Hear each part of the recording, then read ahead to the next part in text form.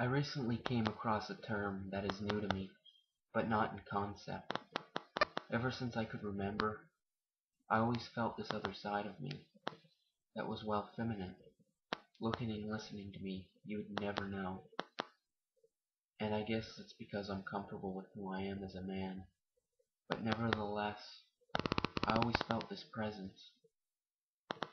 I could be out for a smoke or just listening to music and I'd see this woman doing the same as me, taking a drag off an almost half-finished butt, or becoming lost to the same rhythm of a guitar. And sometimes it's almost like I'm teleported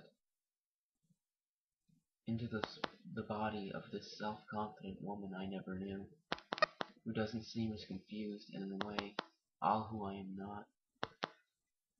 This way about me is not quite like you, and that I have not named her, although the god of Aztec legend, Ometeotl, strikes a chord, and that she is almost like a guardian angel or second spirit.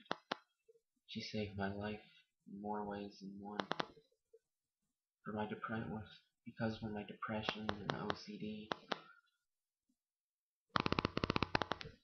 gets to the point where I just want to end it all, I can't help but think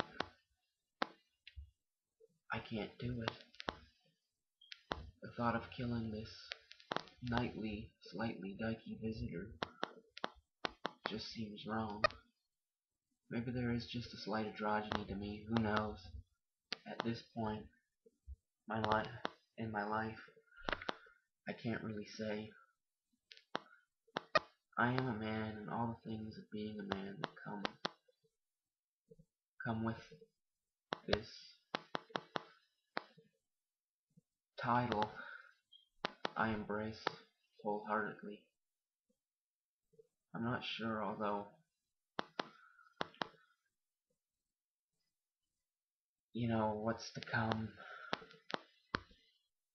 and how I'll, I'll view myself in the next 10 years. One thing's for sure. I'm definitely a man dyke.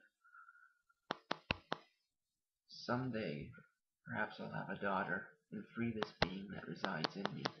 But until then, whether I'm just slightly androgynous, bi-gendered, or just plain weird in my own way, I'll embrace this part. I'll embrace this part of me that makes me human in this and confused kind of universe.